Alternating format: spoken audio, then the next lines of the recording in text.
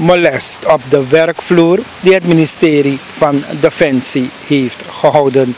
Wij voeren nu naar beelden van, nogmaals, georganiseerd door het ministerie van Defensie. Echter is het een veel voorkomend verschijnsel in het leger. Of het nu in Nederland, Duitsland of de VS is. Overal komt het voor. En het vormt nog steeds een bedreiging voor de gezondheid en veiligheid van werknemers, terwijl de productiviteit en reputatie van een organisatie eveneens schade lijden. Met de launch van deze unit wordt een eerste aanzet gegeven tot het uitbannen van geweld en molest op de werkvloer. Op de werkvloer komt in verschillende vormen en op verschillende manieren voor. Zoals verbaal, non-verbaal, geweld, discriminatie en seksueel intimidering. Het is belangrijk dat we kunnen herkennen en daar een aan kunnen maken. Daarom, Defensie beschermt ook tegen molest. Vanaf mijn aantreden als minister van Defensie en mijn bezoek aan de verschillende dienstonderdelen werd mijn aandacht gevraagd voor molest op de werkvloer. In een meeting met hoofdofficieren hebben een aantal officieren hun stem laten horen en zeggen mevrouw minister, het gebeurt en we moeten er iets aan doen. En dat is ook wat ik heb beloofd, wat ik had beloofd toen, we gaan inderdaad sturen. En vandaag staan we hier een paar maanden later om te zeggen van, beloont je dit? En we hebben vertrouwenspersonen aangesteld.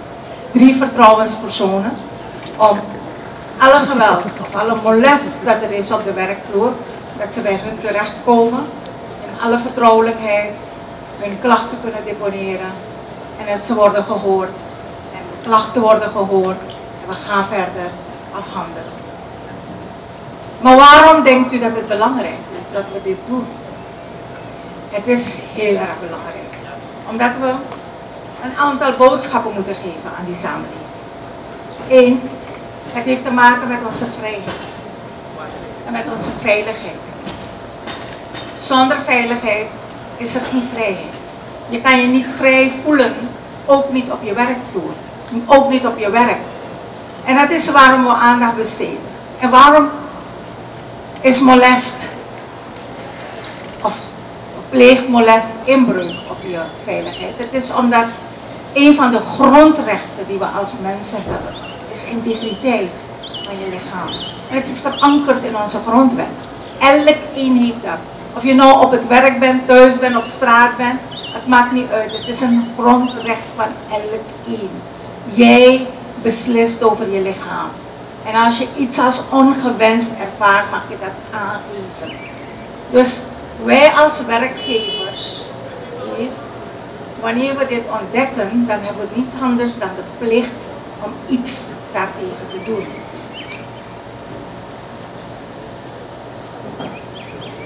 En hier heeft u een vorm gezien. Maar het komt, molest komt in verschillende vormen.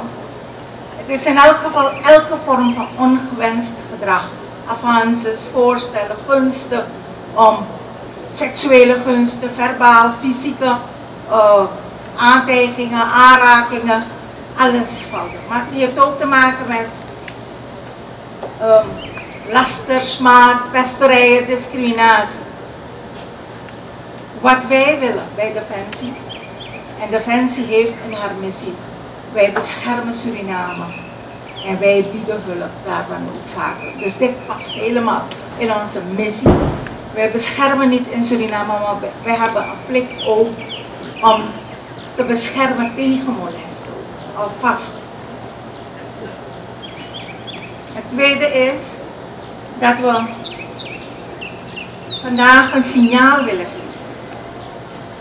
Dat voor ons medewerkers de belangrijkste hulpbronnen zijn. Zonder medewerkers geen resultaten, geen organisatie en geen doelen die we kunnen realiseren. En als medewerkers voor ons de belangrijkste hulpbronnen zijn, dan willen we dat medewerkers gelijke kansen krijgen om de top te bereiken van de defensieorganisatie. Dat medewerkers ook in alle vrijheid hun werk doen. dat medewerkers op de werkvloer enkel vorm van molest ervaren. En zeker in een defensieorganisatie waar hiërarchie een belangrijk aspect is, dat er geen misbruik wordt gemaakt van die hiërarchie. Zoals u hier heeft gezien.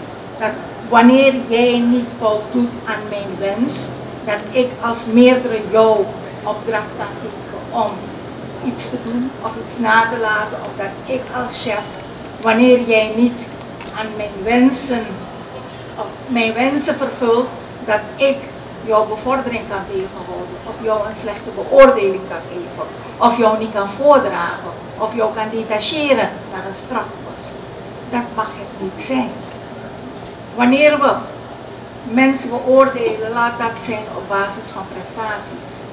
Laat dat zijn op basis van je werkethiek. Laat dat zijn op basis van je kennis. Laat dat zijn op basis van je vaardigheden. En laat dat zijn op basis van je attitude, je werkhouding. En geen enkel ding. En een ander belangrijk signaal dat we vandaag willen geven als defensie is dat onze moeders, onze kinderen, onze dochters, onze zusters, partners ook carrière kunnen maken bij Defensie.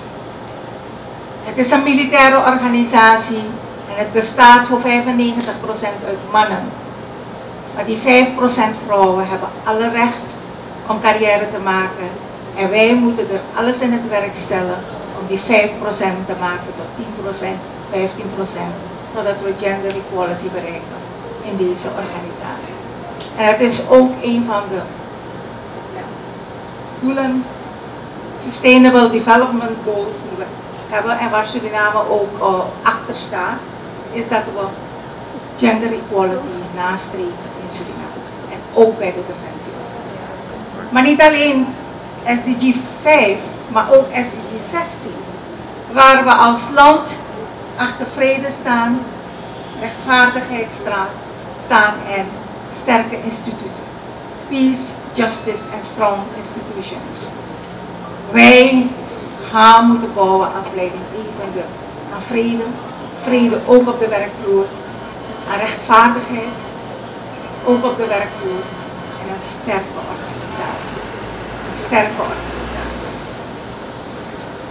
Maar het is niet alleen de slachtoffers, het is voornamelijk ook de daders die we willen ondersteunen. Hun bewust maken. Hun bewust maken dat dat gedrag achterwege gelaten moet worden. En dat het niet past in een sterke defensieorganisatie. En misschien wisten ze het niet, daarom hebben we een folder ontwikkeld om iedereen bewust te maken.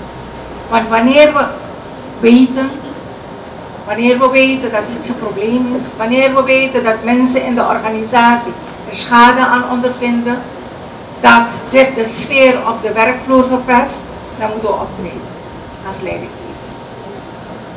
En wij hebben niet stilgestaan, we hebben direct gezegd, we gaan optreden en we gaan actie ondernemen. En die actie is natuurlijk beleid ontwikkelen. En dat hebben we gemaakt. En dat gaan we ook vastleggen in wettelijke regelingen, in regels, in voorschriften vanuit de minister van Defensie. Dwars door de hele organisatie. We gaan ook, vandaag, of laat me het zo zeggen, vandaag is een tweede stap. En dat is vertrouwenspersoon aanstellen. Waar mensen met hun klacht terecht kunnen, in alle vertrouwen hun klacht kunnen deponeren en dat ze aangehoord worden, dat er onderzoek komt en op basis van de ernst, de omstandigheden, dat er ook besluiten genomen worden. Besluiten, correctie, overplaatsing, whatever, maar dat er niet zonder meer zo blijven. Maar dat er een signaal gaat, een zeer sterk signaal naar de defensieorganisatie van dit hoort niet en dit pikken we niet en hiertegen treden wij op. Dat is het signaal dat we willen uitsturen naar de defensieorganisatie. En we hopen daarmee dat het ook verder verspreidt naar alle andere organisaties. Binnen de overheid, maar ook binnen de particulieren. Op de werkvloer, op scholen, in gezinnen, overal. Dat het geweld eruit gaat.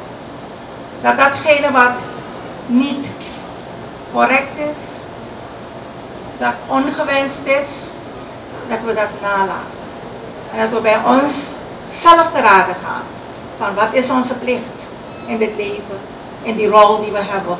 Of het zij minister, het zij werknemer, het zij media, het zij afdelingshoofd, het zij bevelhebber, het zij legerleider.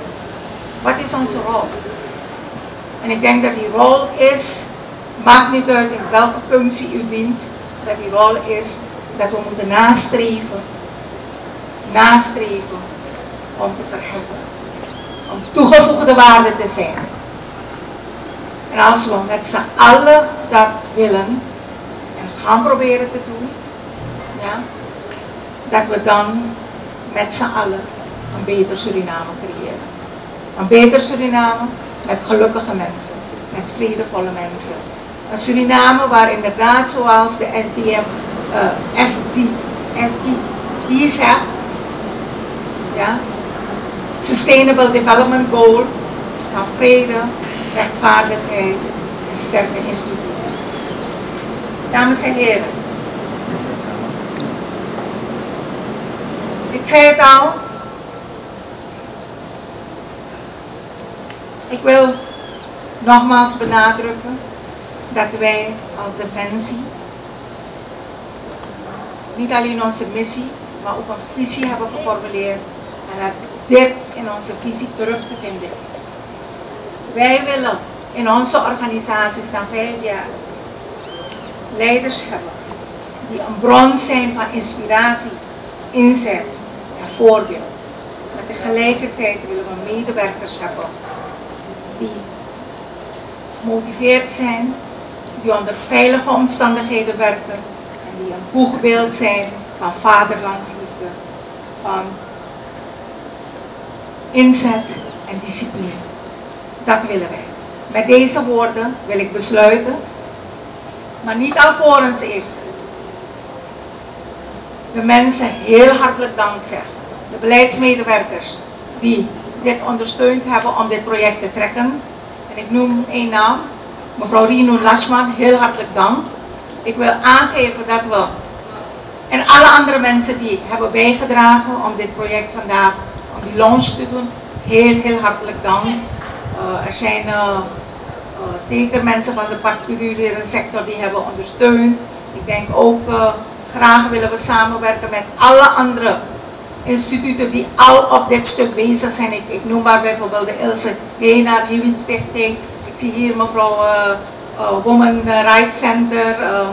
Alle andere organisaties die al op het veld bezig zijn en al heel veel mijlpalen hebben bereikt. En die voor ons inspiratie zijn om vandaag deze unit te launchen.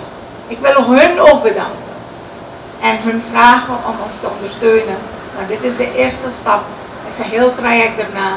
Dus ik roep ze ook op om ons te ondersteunen, om die samenwerking met ons uh, aan te gaan. En dat we echt inderdaad samenwerken, dat we dit probleem tot het minimale beperken.